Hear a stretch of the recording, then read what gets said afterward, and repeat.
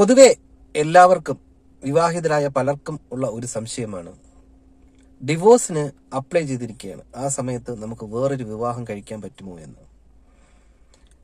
നമ്മൾ ഡിവോഴ്സിന് അപ്ലൈ ചെയ്തത് കൊണ്ട് മാത്രം നമുക്ക് വേറൊരു വിവാഹം കഴിക്കാനുള്ള അവകാശമില്ല. അത് തീർത്തും തെറ്റാണ്.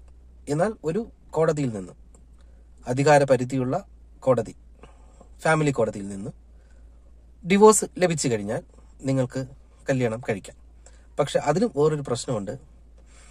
ഈ ഫാമിലി കോടതിയുടെ അപ്പീൽ എന്ന് പറയുന്നത് ഹൈക്കോടതിയാണ്.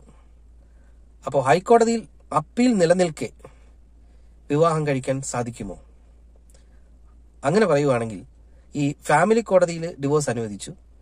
അപ്പീൽ പോയപ്പോൾ ഹൈക്കോടതിയിലും ഡിവോഴ്സ് അനുവദിക്കുകയാണെങ്കിൽ നമ്മുടെ അപ്പീൽ പീരീഡിൽ കല്യാണം കഴിച്ചാൽ അത് വാലിഡ് ആണ് എന്നാൽ തിരിച്ച് ഫാമിലി കോടതി ഡിവോഴ്സ് അനുവദിച്ചു ഹൈക്കോടതി അനുവദിച്ചില്ല അപ്പീൽ പീരീഡിൽ നമ്മൾ മറ്റൊരു വിവാഹം കഴിക്കുകയാണെങ്കിൽ അതൊരു ഓഫൻസ് ആയിട്ട് മാറും. അതായത് കയ്യാല പുറത്തെ തേങ്ങ പോലെയാണ് ചിലപ്പോൾ അനുവദിക്കാം അനുവദി അനുവദിക്കാതിരിക്കാം അത് നമ്മുടെ റിസ്ക് ആണ്. പക്ഷേ ലിവിങ് ടുഗദർ സുപ്രീം കോടതി അനുവദിച്ചിട്ടുണ്ട്. അതുകൊണ്ട് വിവാഹം കഴിക്കാതെ ഒരുമിച്ചൊക്കെ താമസിക്കാം. എനിക്ക് തോന്നുന്നു ലിവിങ് ടുഗദർ കോടതി സുപ്രീം കോടതി അനുവദിച്ചത് തന്നെ ഇങ്ങനെയുള്ള റിസ്കുകൾക്ക് ഒരു പരിഹാരം ആകുമെന്ന് കരുതിയാണ്? നിങ്ങൾക്ക് എന്ത് തോന്നുന്നു?